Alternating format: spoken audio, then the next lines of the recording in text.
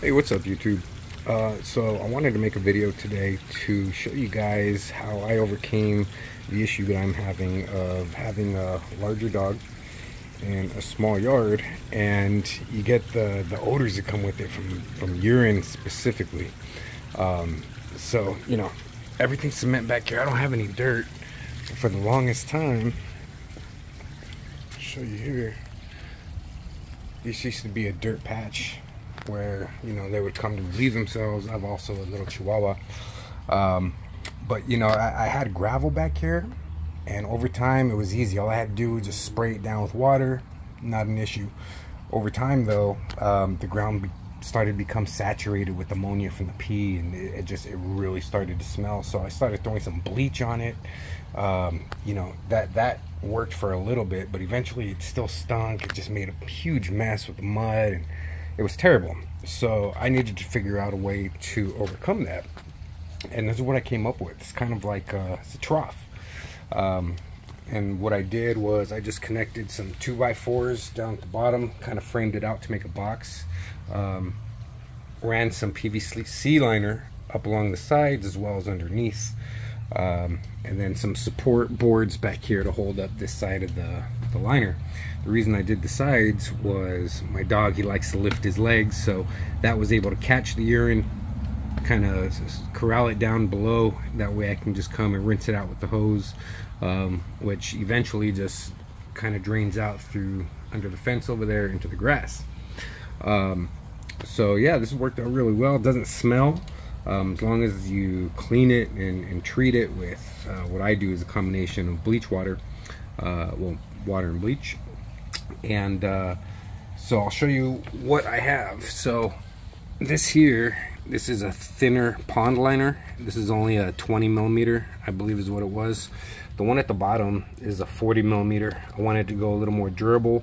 I didn't want to have to replace this thing every year or two, I don't know. But uh, so far this thing has been out here hell about three years maybe four years it's held up really well um, no tears in the liner or anything like that. It's not deteriorating anywhere.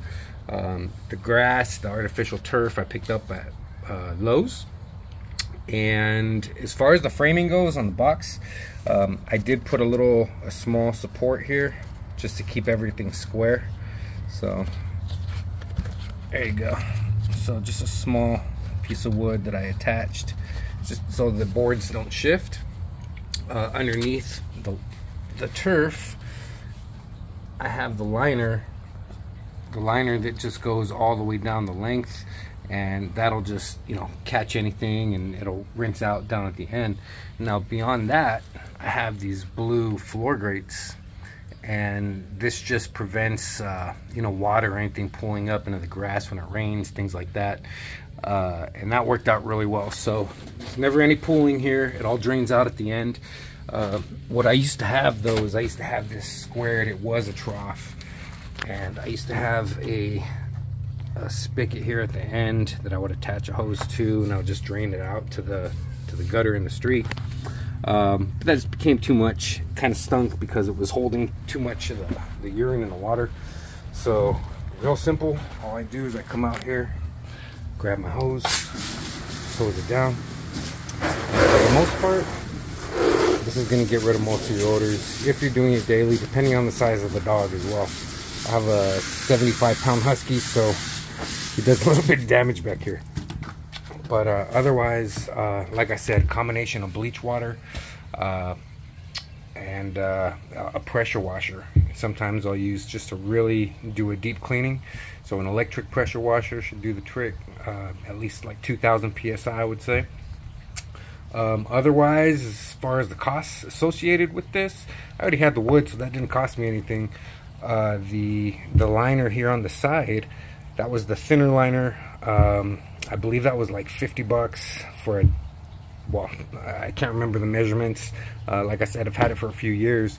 Um, but the liner at the bottom uh, that being the thicker liner that was about hundred bucks I want to say uh, the turf was about a hundred bucks for a, a, 10 foot by 3 foot section um, which is basically the measurements I have here uh, and otherwise uh, that was about it that was about it. So pretty simple build. You can get this done in you know an hour or so. Uh, need a staple gun also, just to put the liner into the wood.